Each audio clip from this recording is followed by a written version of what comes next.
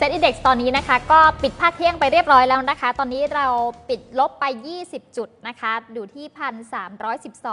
12 จุดนะคะ เราลงไป 1.53%จุดต่ำสุดวันนี้เรา 1,307 จุดนะคะ ก็ถือว่าตอนนี้เรากลับขึ้นมาเหนือ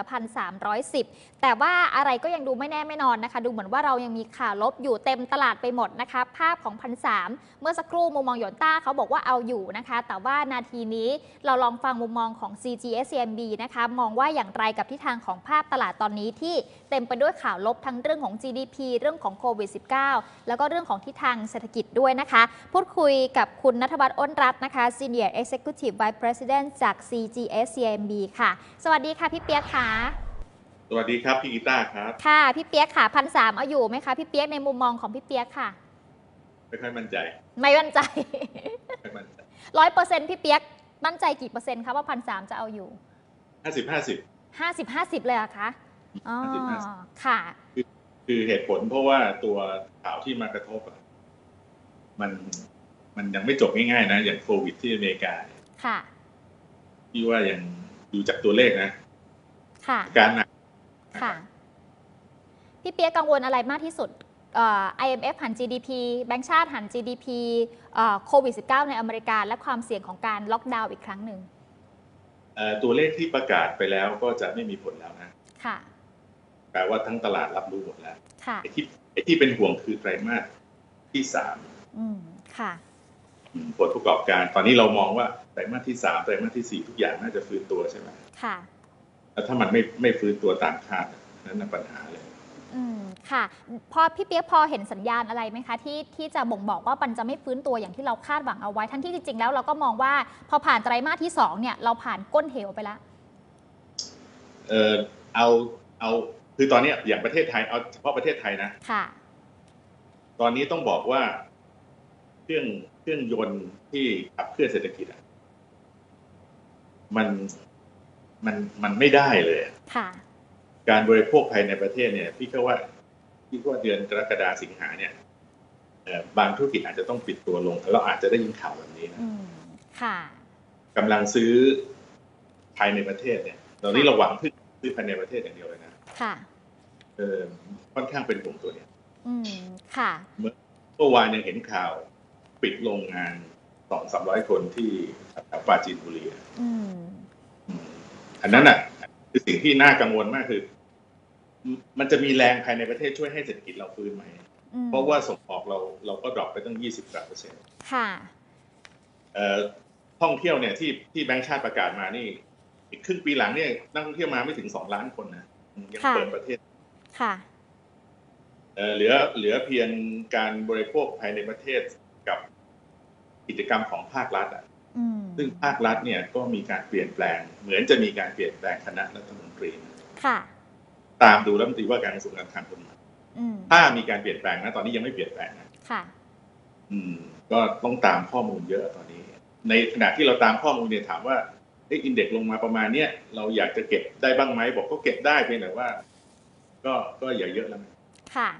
ก็คือเอ่อแบ่งไม้เข้าไปเก็บได้นะคะ แต่ว่าครับรอบนี้ก็คงไม่ใช่จังหวะที่เราจะ all in หรือว่าเห็นทุ่มหมดหน้าตักถ้าเราลงมาเห็นพันสามนะคะ ยังคงต้องระมัดระวังมีเรื่องที่ยังต้องเออจับตาอยู่อีกเยอะเลยนะคะ พูดถึงเรื่องของข้อมูลที่พี่เปียกพูดถึงว่าเป็นห่วงเรื่องของการลงทุนเอกชน เรื่องของธุรกิจจะปิด กิจการแบงก์ชาติก็ดูเป็นห่วงนะคะเขามีการมองตัวเลขของเออการลงทุนเอกชนเนี่ยไม่ค่อยดีนะคะ ดูเหมือนติดลบประมาณ 13%สำหรับช่วงของมิถุนายน แล้วก็มีความเสี่ยงเรื่องของการลงทุนเอกชนที่จะซุดตัวลงไปอีกเนี่ยนะคะเอ่ออาจจะเป็นไปได้หรือเปล่าคะที่ทำให้กำไรของบจในไตรมาส 3 ไตรมาส 4 มันไม่โตได้อย่างที่เราคิด หรือว่าอย่างน้อยมันก็ไม่ดีเท่าที่เราคิดอะค่ะอันนั้นแหละครับกีตาร์ที่กังวลอยู่อืมค่ะเอ่อ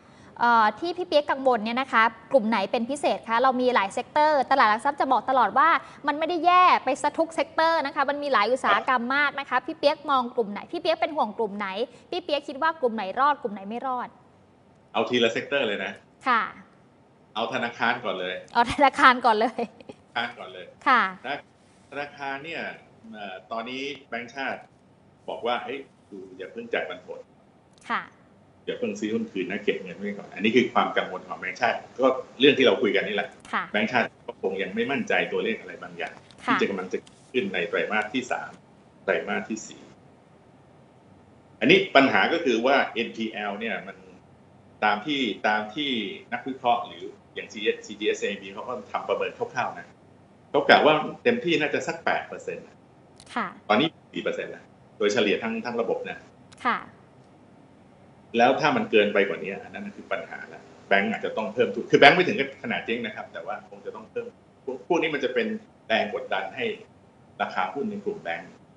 ทั้งสิ้นโดยที่สิ่งที่เราอยากจะเห็นก็คือการประกาศงบในไตรมาสที่สองซึ่งจะประกาศประมาณปลายปลายๆเดือนกรกฎาคมอืมจากนี้ถึงปลายกรกฎาคมเนี่ย เป็นอะไรที่ ที่แบงก์มันคงอยู่กับที่เลยอาจจะอาจจะออกลูกซึมๆมาค่ะแต่ อันนี้อันนี้กลุ่มแรกนะค่ะกลุ่มแรกรอตัวเลข งบไตรมาสที่สองเอ่อกลุ่มที่สองกลุ่มที่สองคือกลุ่มเอ่อบริโภคภายในประเทศเนี่ยพวกห้างสรรพสินค้า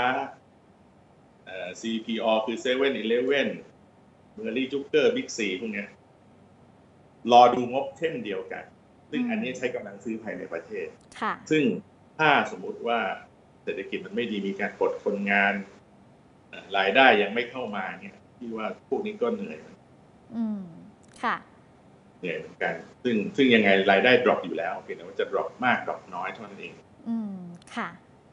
โ ฮมโปรด้วยแม ็คโ ครที่ขึ้นมาเนี่ย CRC v e r y j u g e r เนี่ยอันเนี้ยอาการ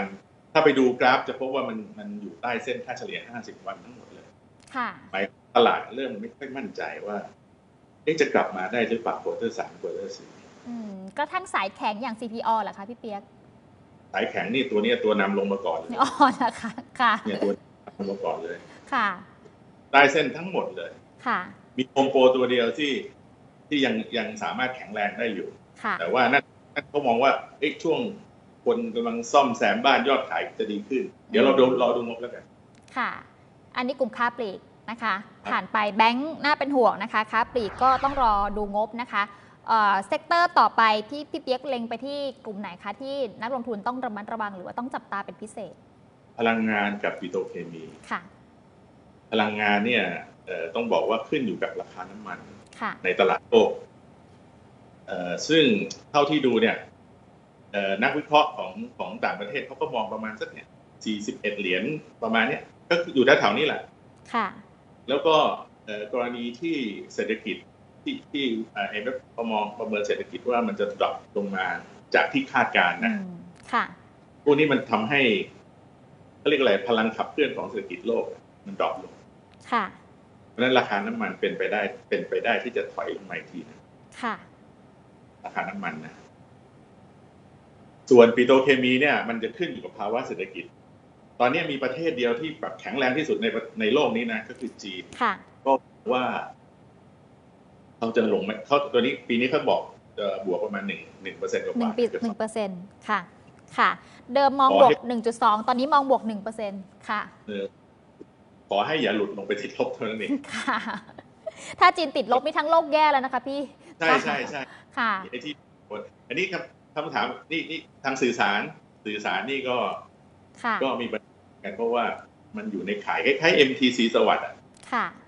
ค่ะคือมันมันต้องมันต้องช่วยกันอะอืมเพราะฉะนั้นรายได้มันจะลดลงค่ะจากการต้องลงมาช่วยกันในในประเทศเราเนี่ยอ๋อค่ะค่ะ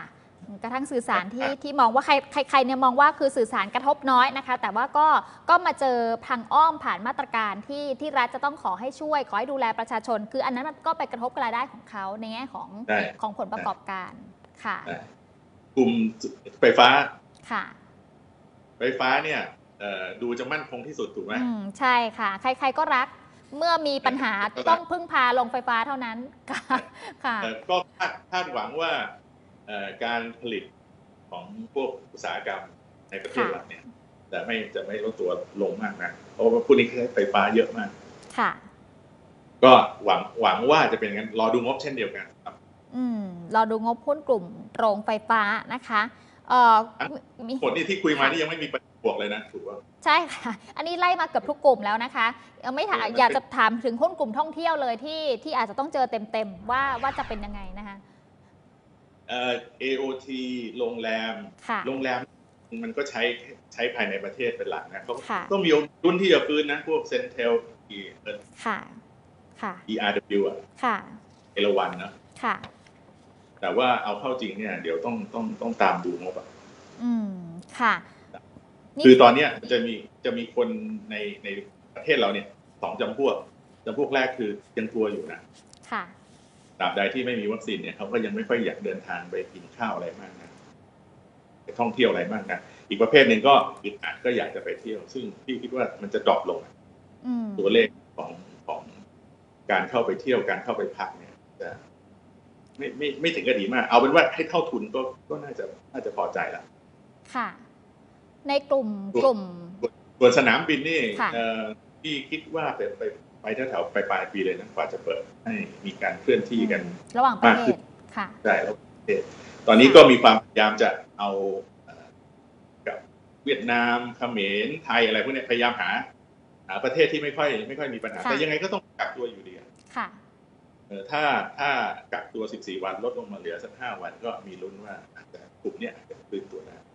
แต่ตอนนี้ยังยังยากอยู่ค่ะ ทีนี้คือถ้าท่านมองภาพรวมนะคะ พี่เปียกคือถ้ากลุ่มครับที่เรามองว่าเราต้องระมัดระวังเนี่ย คือมีค่อนข้างเยอะนะคะ เกือบเต็มตลาดไปหมดเลยเอ่อถ้าพี่เปียกมองว่าตั้งแต่ต้นเนี่ยนะคะ ที่กีตาร์ถามไปว่าพันสามเราหลุดไหมห้าสิบห้าสิบนะคะ คือถ้าหลุดพี่เปียกแนะนำยังไง ไม่หลุดพี่เปียกแนะนำยังไงคะคือตอนเนี้ยถ้าหลุดพี่ถึงจะเริ่มพี่ถึงจะเริ่มซื้ออะอ๋อถ้าหลุดพันสามเริ่ม เริ่มซื้อเริ่มแบ่งไม้ซื้อค่ะใช่อันนี้เนี่ยกรณีเราดูอินเด็กซ์นะค่ะ แต่ถ้าเราดูเป็นกลุ่มอุตสาหกรรมเนี่ยกลุ่มไหนลงมาแรงๆพี่ก็จะเริ่มซื้อเช่นเดียวกันค่ะ แล้วทำไมเราถึงซื้อในจังหวะแบบนี้ เพราะว่าการซื้อหุ้นมันต้องซื้อจังหวะที่ที่เป็นเลวร้ายแบบนี้แหละอืมเออแล้วก็มีสิทธิ์ที่จะเลือกว่าจะซื้อตรงไหนราคาต่อรองได้อะค่ะ ค่ะเออเราก็ไม่จำเป็นต้องเข้าไปหมดอาจจะเข้าทีละยี่สิบเปอร์เซ็นอะไรก็ว่าไป ค่อยๆเก็บไป แล้วก็ โฟกัสไปในกลุ่มที่เราคิดว่าเออมันจบจากโควิด แล้วมันยังรอดอยู่อะค่ะค่ะ ใครเป็นเอ่อ FC พี่เปียกนะคะ สัปดาห์ที่แล้วเราก็ได้ให้ไปชุดใหญ่นะคะสำหรับผู้ที่เป็นหลุมหลบภัยนะคะ ว่าจบโควิดยังรอดอยู่อันนั้นนะคุณคุณเมมเอาไว้เลย ส่วนวันนี้เนี่ยเอ่อ รูปแบบที่เราพูดถึงก็คือหุ้นที่คุณยังไม่ควรจะเสี่ยงคุณจ้องตับตานะคะ ในการที่จะเข้าไปลงทุน ทีนี้ค่ะ พี่เปียกถ้าไม่หลุดพันสามถ้ารอบนี้เอ่อหนังเหนียวตีกลับคืนขึ้นไปได้อีกนะคะ พอร์ตเราเราจัดการยังไงดีคะไล่ตามดีไหมคะ มันมันจะงี้ครับกีตาร์มันจะ rebound ได้ไม่ไกลละครับอืมสมมุติว่าพันสามรับอยู่เต็มที่ก็พันสามห้าสิบหกสิบค่ะ ไม่เกินนี้ถึงตรงนั้นเราก็ต้องขายเหมือนกันอ๋อ กำไรในกรอบค่ะที่กำลังจะเกิดขึ้นมันจะอยู่ประมาณสักห้าเปอร์เซ็นต์บวกลบนิดหน่อย ค่ะ ถ้าหลุดแล้วเราก็ค่ะขายด้วยนะค่ะเราก็ต้องขายด้วยนะเพราะว่าข่าวร้ายมันเยอะ อืมค่ะเพราะฉะนั้นเพราะฉะนั้นคำแนะนำก็คือซื้อเล่นได้แต่ขอเป็นระยะสั้นค่ะ หลุดจากพันสามพี่เปียกมองแนวรับถัดไปเท่าไหร่คะทางเทคนิคมองกันเท่าไหร่คะเออพันสองร้อยแปดสิบพันสองแปดสิบแต่ว่าเมื่อเช้าก็พยายามลงมานะครับ เมื่อเช้าก็พยายามลงมา ก็หลายหลายตัวก็เริ่มลงมาแล้วค่ะราคาเริ่ม แนวรับหลายตัวแล้วจะทยอยสักสักนิดหน่อยก็น่าจะได้ครับ ไม่จำเป็นต้องดูอินเด็กซ์นะครับ ดูเป็นตัวตัวๆไปอ๋อโอเคค่ะได้ค่ะ นี่ก็เป็นคำแนะนำจากพี่เปียกนะคะ FC พี่เปียกก็รอดูนะคะ ถ้าจะมีอะไรเปลี่ยนแปลงต่อไปเรามาอัปเดตกันเรื่อยๆนะคะ วันนี้ขอบพระคุณมากเลยค่ะ พี่เปียกค่ะที่ร่วมพูดคุยค่ะ สวัสดีค่ะ สวัสดีครับค่ะพี่เปียกนัทวัฒน์อ้นรัตน์นะคะจาก CGS CIMB นะคะ มองเรื่องของการเอ่อ ความเสี่ยงของดัชนี คือถ้ามองตอนนี้นะคะ 50-50เลยนะคะที่เราจะหลุดพันสโอกาสที่ถ้าเราไม่หลุดพันสนะคะมีแรงซื้อเข้ามา อย่างที่บอกว่าเป็นจุดรับทางจิตวิทยาแล้วก็เด้งได้นะคะ แต่ว่าการเด้งรอบนี้ไม่ไกลเลยนะคะสำหรับแนวต้านอยู่ที่พันส1,350 แล้วไปถึงจุดนั้นต้องขายซะด้วยนะคะ เราต้องรีบล็อกกำไรจะนั่งดูเฉยๆไม่ได้นะคะ พอลงมา หลุดพันสไปถึงใกล้ๆสักพันสองหลุดพันสเนี่ยจริงๆ พี่เปียก็บอกว่า ถ้าใครยังมีเงินสดอยู่นะคะ ตามกลยุทธ์ก็ค่อยๆ แบ่งเข้าไปเก็บสะสมรายตัวได้นะคะ ไม่ต้องดูอินเด็กซ์อย่างเดียวนะคะ หุ้นที่ได้เคยให้ไว้ หุ้นที่จะปลอดภัยจากโควิด -19 หุ้นหลุมหลบภัย survival stock นะคะที่เคยให้ไว้ทำกันบ้านแล้วก็เตรียมเข้าไปค่อยๆ แบ่งไม้ แบ่งพอร์ตในการเข้าไปเก็บลงทุนขึ้นมามีจังหวะ ขายทำกำไรนะคะ เพราะตลาดหุ้นช่วงนี้ผันผวน ก็เป็นการลงทุนในกรอบนะคะ ขึ้นก็ขายลงก็เข้ามาช้อนซื้อนะคะเราพักกันก่อนสักครู่